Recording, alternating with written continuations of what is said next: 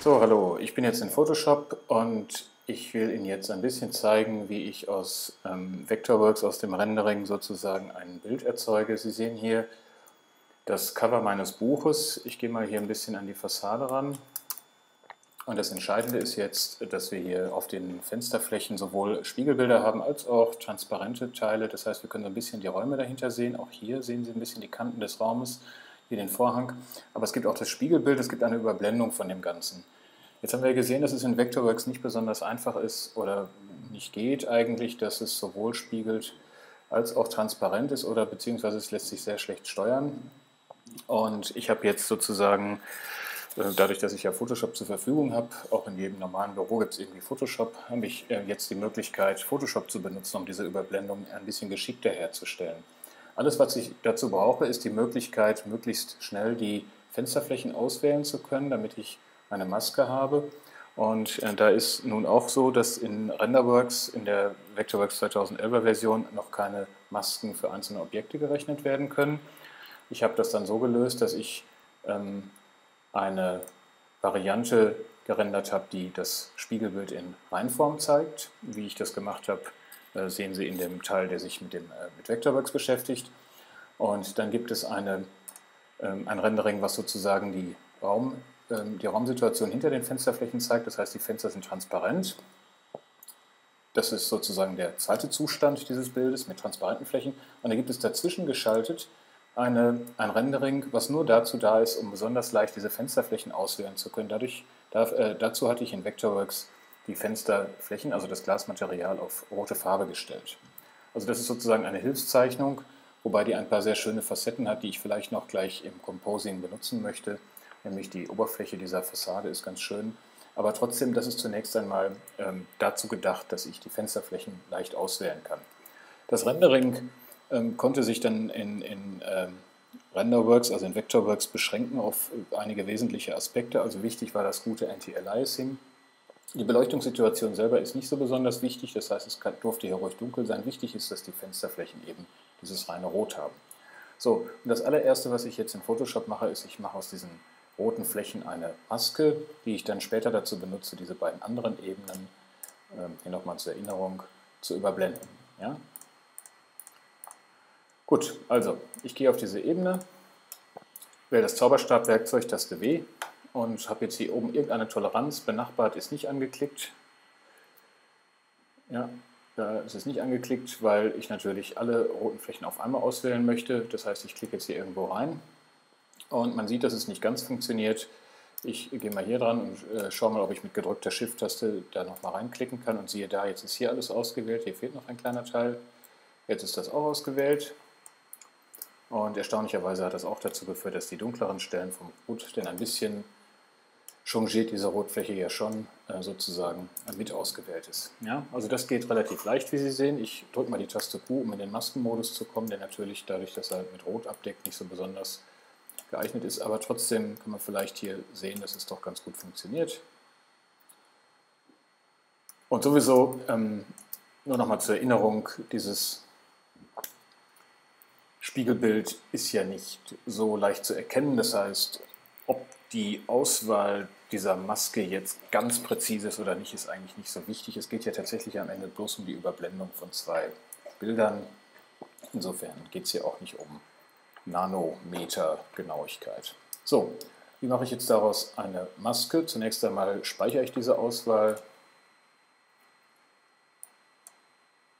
und nenne das Ganze Fenster Maske.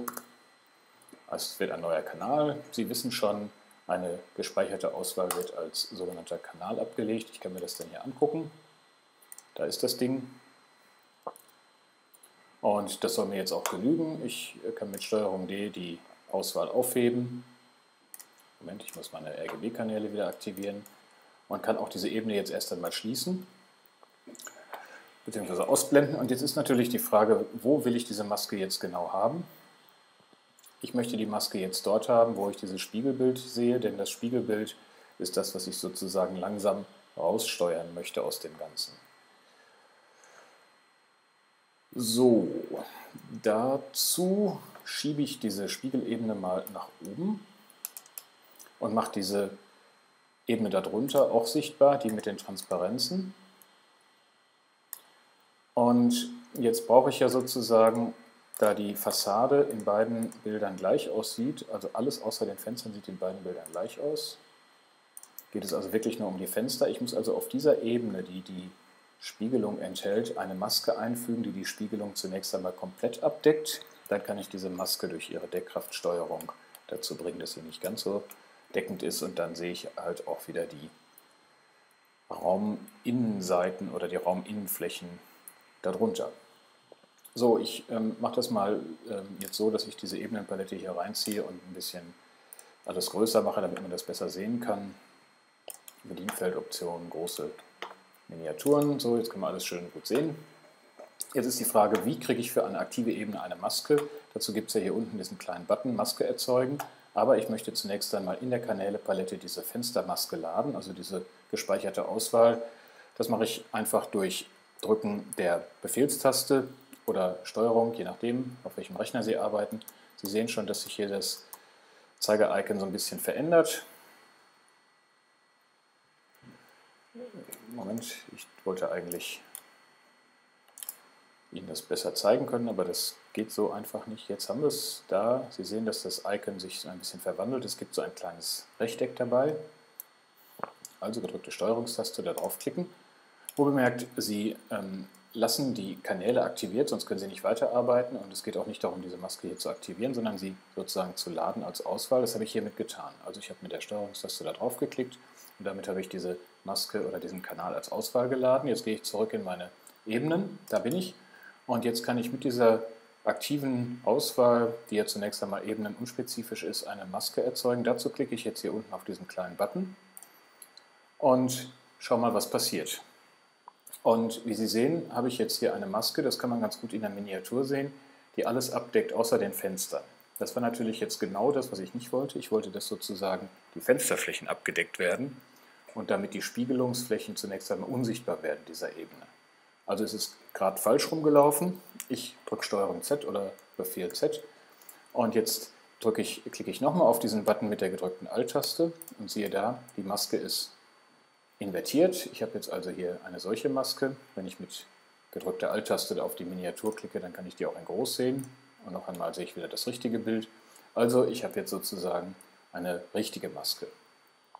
So, und jetzt zoome ich hier mal rein Jetzt geht es nämlich darum, das Ganze fein zu tunen. Ich möchte also das Spiegelbild halt schon sehen, aber natürlich nicht deckend. Jetzt gibt es mehrere Möglichkeiten. Also man kann die Maske selber bearbeiten, das mache ich auch gleich eigentlich. Ich möchte nämlich, dass es nicht überall in gleicher Weise abgedeckt wird, sondern dass es einen Verlauf gibt. Aber zunächst einmal schauen wir mal in der Palette mit den Masken nach, in der Maskenpalette. Jetzt kann ich die Dichte dieser Maske zum Beispiel runterregeln. Ja, Sie können jetzt hier an diesem Regler ähm, den Schwarzteil dieser Maske, also der, der für die Abdeckung zuständig ist, können Sie sozusagen in der Deckkraft reduzieren. Und damit bekommen Sie dann irgendwann wieder Ihre Transparenz zurück. Ja? Sehen Sie, jetzt ist es komplett transparent, ist ein bisschen duster, aber trotzdem. Und wenn Sie das Ganze auf Null drehen, dann sehen Sie nur die Spiegelung. Dazwischen ist halt alles möglich. Sie wissen, dass Sie auch direkt auf das Wort Dichte gehen können. Dann gibt es so einen kleinen Doppelpfeil und Sie können hier ein bisschen herumregeln, wie es Ihnen gefällt. Ja? So, jetzt könnte man das Ganze ja so lassen. Ich ähm, möchte es jetzt noch ein bisschen feiner machen, nur so zur Information. Sie können ja auch in Masken noch Verläufe anlegen. Dazu ähm, möchte ich die Dichte zunächst einmal wieder auf 100% stellen, da wir sowieso gleich mit einem Verlauf innerhalb der schwarzen Flächen arbeiten werden. Ich mache das Bild mal ein bisschen kleiner, damit es besser geht. Und jetzt ist meine Idee natürlich gewesen, dass die Transparenz dort, wo ich orthogonal auf die Fensterflächen schaue, nämlich hier, möglichst hoch ist und dass sie zu den Rändern abnimmt und dort das Spiegelbild immer stärker wird. Das wäre in der Natur oder in der Wirklichkeit auch so. Also da, wo Sie frontal auf eine Scheibe draufschauen, ist die Wahrscheinlichkeit, dass Sie durchgucken können, noch am höchsten. Und je weiter der Sehwinkel sozusagen abdriftet aus der Orthogonalität, desto spiegelnder wird das Ganze. Ich kann jetzt also sozusagen statt eine Linearmaske zu haben, die einfach nur alles abdeckt, kann ich auch innerhalb dieser abdeckenden Flächen einen Verlauf haben. Der müsste dann hier weiß sein oder sagen wir mal, hm, äh Quatsch, der müsste hier schwarz sein, Entschuldigung, und zu den Rändern hin heller werden. So, dazu gibt es ähm, zunächst einmal grundsätzlich bei den Verläufen die Möglichkeit, also erst einmal muss ich das Verlaufswerkzeug aktivieren, dann muss ich hier oben reinklicken. Ich möchte natürlich einen Schwarz-Weiß-Verlauf haben. Da gibt es ja die Möglichkeit, keinen Linearverlauf zu haben, sondern einen sogenannten ähm, reflektierten Verlauf. Das heißt, da die, den Verlaufsvektor, den Sie zeichnen, der wird dann symmetrisch auf die andere Seite auch gezeichnet. Das probieren wir jetzt mal aus. Ähm, zunächst einmal möchte ich wieder das Bild sehen. Ich klicke wieder mit der gedrückten Alt-Taste auf die Maskenminiatur und kann jetzt hier mit gedrückter Command- oder Steuerungstaste auch wieder reinklicken. Auch dann bekomme ich diese Auswahl, diese Ameisenauswahl. Und jetzt habe ich all die schwarzen Flächen ausgewählt, beziehungsweise falsch. Die weiße Fläche habe ich ausgewählt und jetzt kann ich die Auswahl invertieren, Steuerung Shift-I. Dann habe ich genau das ausgewählt, was ich jetzt für den Verlauf auch benutzen möchte als Fläche. Und jetzt nehme ich diesen Schwarz-Weiß-Verlauf in diesem Modus reflektierter Verlauf und zeichne den mal. Ja, ich gehe also hier in die Mitte von dem Fenster und zeichne den jetzt mal ausgehend von dort nach rechts.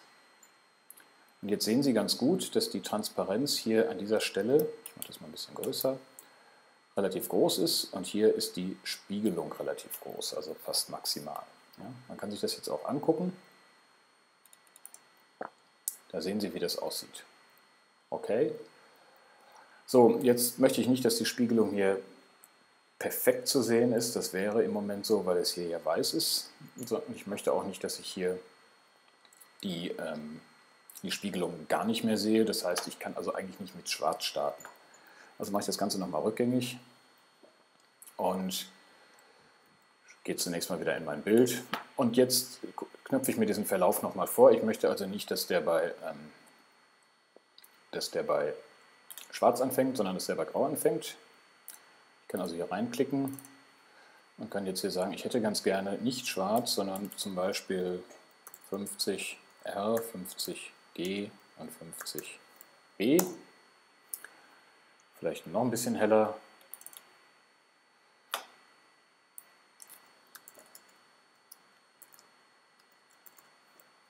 So, und der darf am Rand ruhig weiß werden. Ich kann aber auch hier, um mich besser orientieren zu können, einen hellen Grauwert eingeben, damit es eben am Ende nicht weiß wird, sondern nur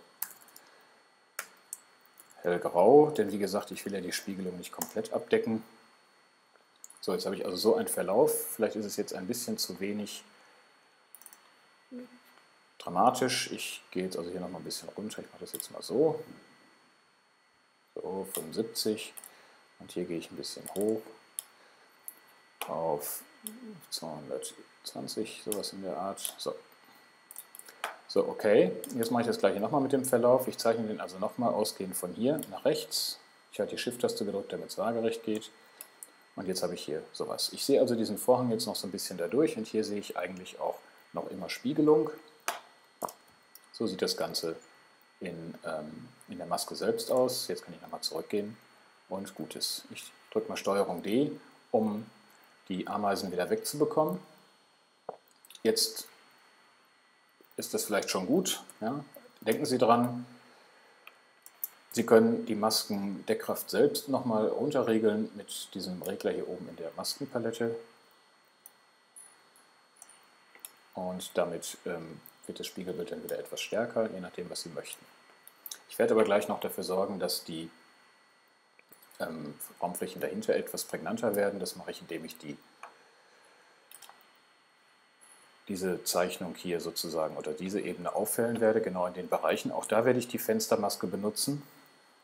Aber der erste Schritt ist getan. Wir haben also jetzt eine Überblendung zwischen spiegelnden und transparenten Flächen. Der wichtigste Schritt sozusagen. Ja, das, was ich eigentlich erreichen wollte, das, was mir zunächst einmal in Vectorworks selber nicht gelungen ist, gelingt jetzt in Photoshop doch relativ leicht.